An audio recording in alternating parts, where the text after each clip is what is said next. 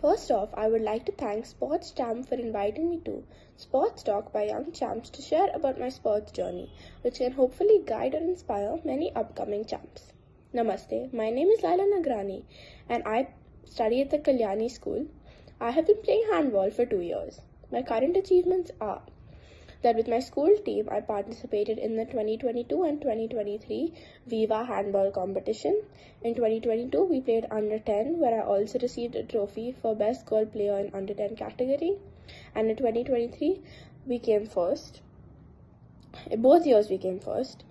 In February of this year, a few students from my school, including myself, participated in the district trials, and a few of us got selected to represent Pune in the mini state handball championship. In April of this year, I got selected to represent Maharashtra in the mini national handball championship. I got into sports because my family on both sides have a passion for sports. My parents played many sports in their school years and were part of many school teams, and my brother also has a passion for football. My biggest challenge that I have faced so far in my sports journey is that I got to know about nationals a week 10 days before the championship, and I had never met my team before and we had never exactly played with, the, played with each other apart from the day before the championship where we got to play for two hours, got to practice for two hours. We overcame that challenge by having team meetings every night and every day before a match. And we talk, spoke about our skills and we told each other what our weaknesses are and what our strengths are. And we practiced whenever we got time.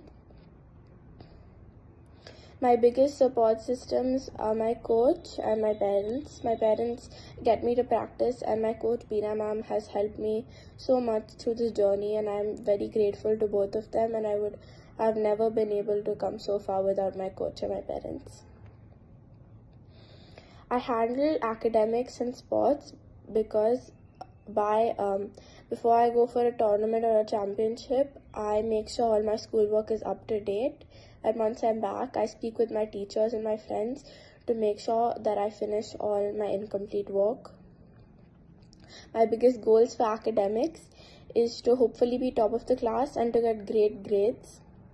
And my goals for sports are that I just started playing, so what I mostly want to do is play as much as I can and play championships and tournaments and work hard to win and play with my team, have fun, and I especially want to improve in endurance and fitness.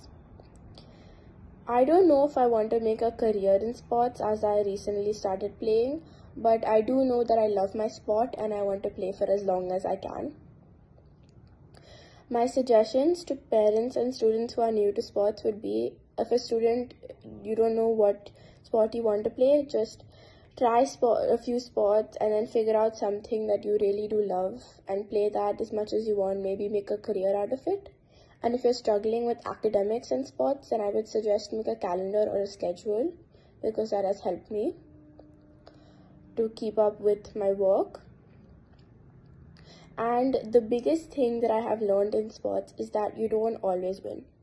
You actually lose a lot but you have to deal with it and know that you can't always win. Many people go out onto the field feeling really nervous, and I think everyone does. And you feel like you don't remember anything of practices, like what you've learned, and you feel like you're going to mess it up. But it's okay, everyone gets nervous. You just have to go out there, play your best, and have fun. Thank you.